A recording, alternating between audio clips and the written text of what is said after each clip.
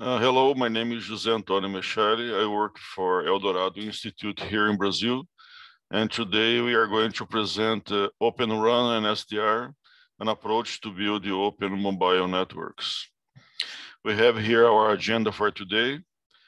And um, this is the abstract for this presentation.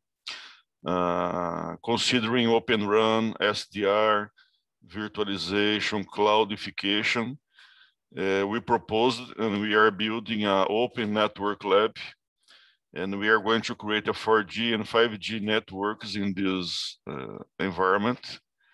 We are going to operate in mid-wave sub-6 frequencies and using SDR technology, uh, software-defined radio. Uh, for the, the core network, for the software part, we are using OpenAirInterface.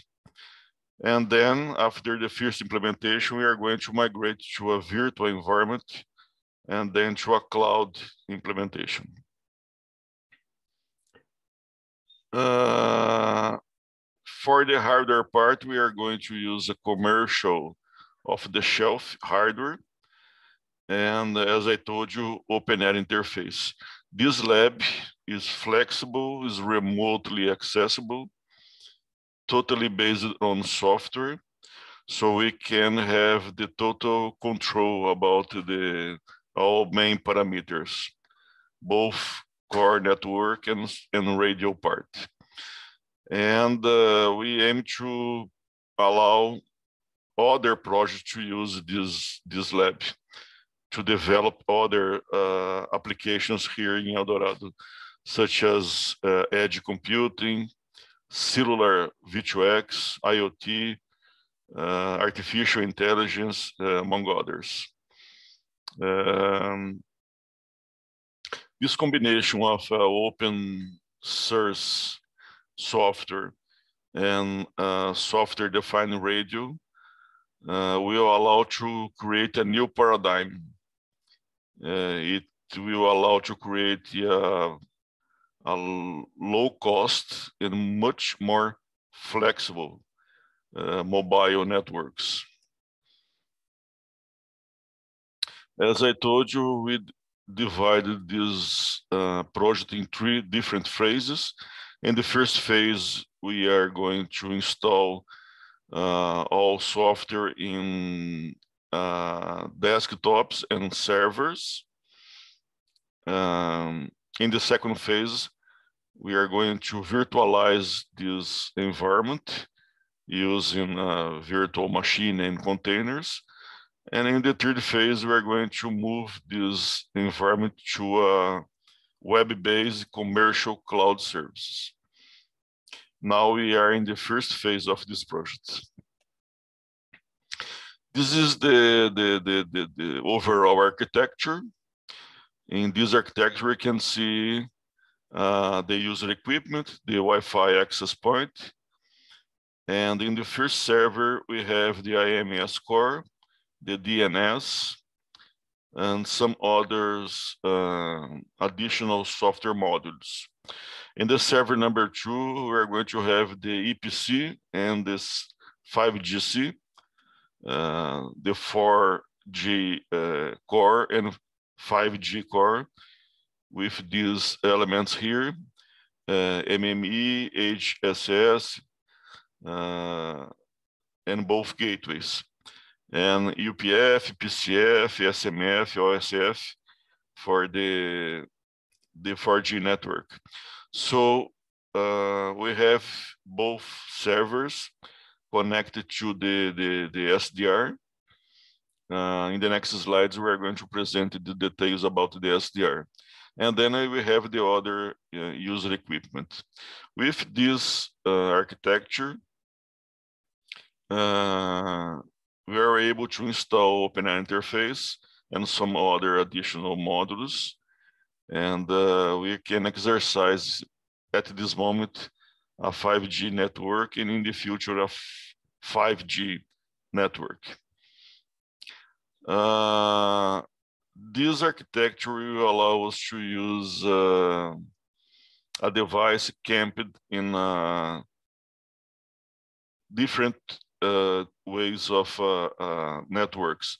So we have here uh, a 5G in a non-standalone uh, configuration. We have 5G in a standalone configuration. We are going to have these both possibilities in our lab. User equipment will be allowed to camp on 5G, 4G, and EN-DC mode, uh, dual connectivity mode. Uh, the, the, the left part of the figure shows exactly that situation. User equipment is camped on a G node B. The G node B is connected via uh, X2 interface to a E node B, and both base stations are controlled by EPC, the 4G core network. And in the right side of the figure, you have a standalone situation when we have a G node B uh, user equipment, uh, real user equipment. We are not going to use a simulated uh, smartphones. We are going to use uh, real smartphones. This smartphone is camped on a on a 5G in a standalone mode. So in our lab, we are going to have these both situations.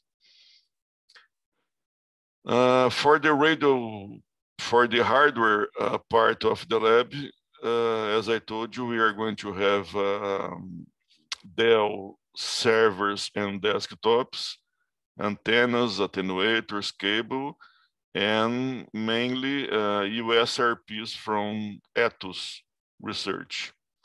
Uh, we are going to operate in a range from 800 megahertz up to 6 gigahertz. So we can emulate both situations, both deployments in dense and rural rural areas. Uh, for the 4G LTE network, we are going to use uh, X300 USRP plus a daughter board uh, for antennas, VERT 900, operating in these frequencies, and a lot of the other accessories. And for 5G network, we are going to use a USRP N300 for antennas different from the, the previous one, operating in these frequencies between 2.4, 2.5, and 4.9, 5.9 gigahertz, and a sort of uh, accessories. And everything is connected using uh, 10 gigabits uh, Ethernet connections. Uh, this is a widely used USRP uh, in the market. is a very common hardware. USRP Ettus N300. It provides uh, 2 by 2 MIMO up to 100 megahertz of uh, bandwidth, and it can operate between 10 megahertz and 6 gigahertz. We are going to use these uh, programmable attenuators, antennas, etc. Uh, the other one is the Ettus X300, uh, covering from DC to 6 gigahertz and 120 megahertz of uh, bandwidth. Again, you are going to use uh, these Ettus antennas and programmable attenuators. Uh, for the software part of the lab, we conduct an extensive comparison among all main open source software available in the market. So we compare the NextEPC, Open Air Interface, srsLTE, ORAN SC, Open 5GS, and uh, we use the, the following uh, features or characteristics to compare all of them. Provided coverage, current implementation status and roadmap, community and support, installation complexity, available documentation, necessary equipment, and uh, as much as possible, or uh, alliance compliance. So we compared all these uh, implementations and we choose to use open air interface. Uh, as you know, Open Air Interface 4G stack supports uh, the 4G EPC, Node B, etc.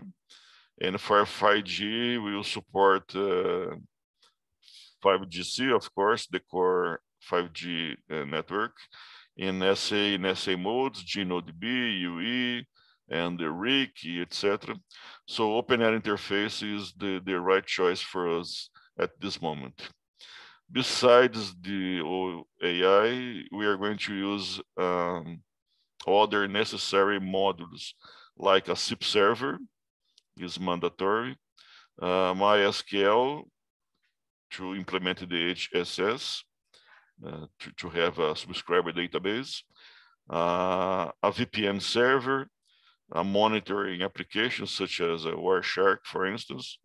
So we are going to have additional modules working with uh, OpenAir interface. Uh, as I told you, this is an ongoing project.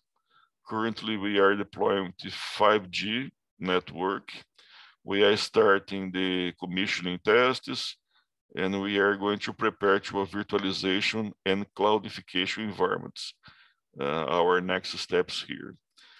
And the most important, uh, we are showing the feasibility to run 4G and possibly 5G networks in a real time on a software defined radio platform. This is our main intention here to show this feasibility.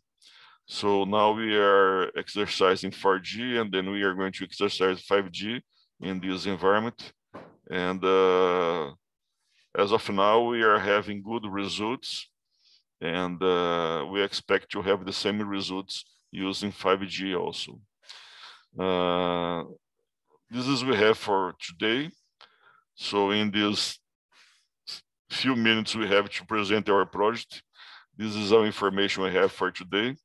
Uh, if you have uh, uh, questions for us, we are going to have three minutes now to, to clarify some questions, please feel free to ask me. Thank you. Thank you very much.